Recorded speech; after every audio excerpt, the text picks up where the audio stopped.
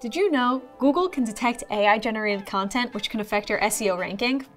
Hi, I'm Neely from Wordtune, and today I'm going to show you how to add that personal touch into AI generated content.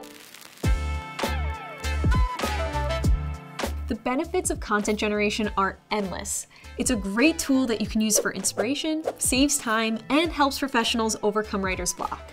But it's not perfect. Most of the time, it lacks authenticity, personality, and emotion. There's nothing unique about it. That's why it's important to add a human touch to your content so that it stays true to your brand, speaks to your audience, and well, sounds like you. That's right, you, the human person, should always stay in the driver's seat when creating content, especially when using AI. Now, there are actually AI detection tools that'll help you figure out just how human-like your content really is.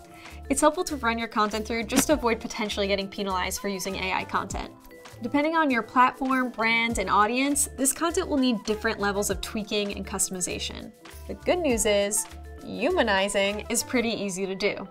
Honestly, the whole process could take you less than five minutes. Let's get that timer on screen just to prove how fast it really is. And go. So, I asked ChatGPT to write me a 200 word LinkedIn post on tips on how to be less distracted at work. Let's put this AI detection tool to the test. I'm going to copy and paste this text from ChatGPT into the tool and see what score I get. Okay, so clearly it works since it recognized that this is 100% AI generated. We'll test this again after we're done humanizing our content. So make sure to stick around to the end to find out the final score. First thing I'll say is treat all generated content as a draft. It's a good starting point, but there's still work to be done. This post was meant for LinkedIn, which is the perfect place to voice your opinion and share personal stories. So, I want to make this intro a lot more personal. Why? First, because it's authentic and relatable. When you share personal experiences, it allows you to connect with your audience on a deeper level. Second, people love stories. Give the people what they want. Add personal anecdotes to make your posts more engaging and memorable. Think of people like Gary Vee, Tim Ferriss, and Brene Brown. Their audience loves them because of how real they are. So here we have attention all professionals. I'm going to swap that generic sentence out with, if you're anything like me, it doesn't take much to drift away from work. And then I could add a personal story about how easily distracted I get. What was I saying? Oh, uh, right. So now to the body of my post. Right off the bat, I can see that some of these points seem general and kind of blah. They're not all relevant, so I'm gonna take some out. I'm also gonna rephrase the ones that don't entirely match my audience and make them fit better. Plus, I'll add a couple of my own to make it genuine. Let's take this tip.